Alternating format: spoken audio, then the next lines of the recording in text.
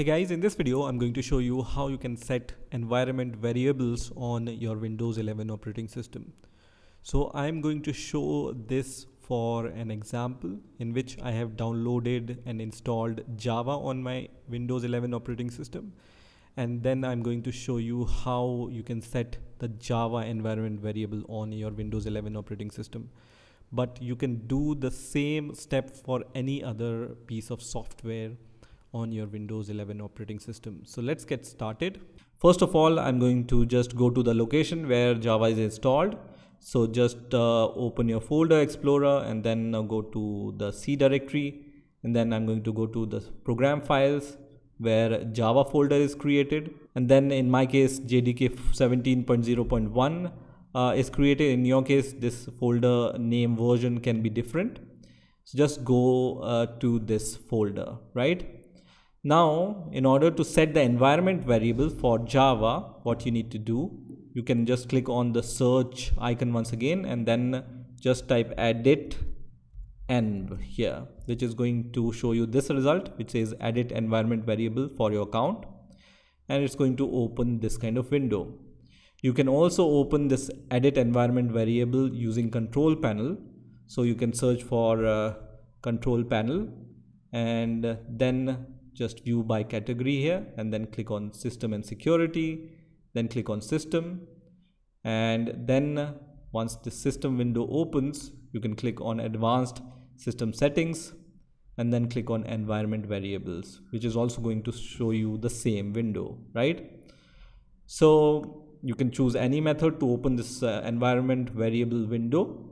And once this is open you need to click on the path environment variable under system variables and then click on edit and here you need to add the path to your JDK folder binaries. So go to the folder where we have installed Java until JDK folder and then click on uh, bin folder. So we need to go inside the bin folder inside this JDK folder and then copy the path, right? So until bin and then copy this path from here go to uh, the environment variable window once again. And then you can double click here or you can click on new which is go also going to show you this option. And then just paste this path until bin and then press enter which is going to add this path to your environment variable. So click on ok. So your java environment variable is set. Now some application also needs the java home environment variable on your windows operating system to uh, run them. So let me show you how you can set the Java home environment variable also.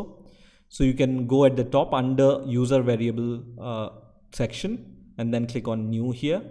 And then the variable name you need to provide here is Java underscore home.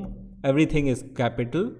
Just write whatever I have written here, everything in capital and the variable value will be the folder which we have opened which is uh, JDK folder. So don't go inside the bin folder in this case.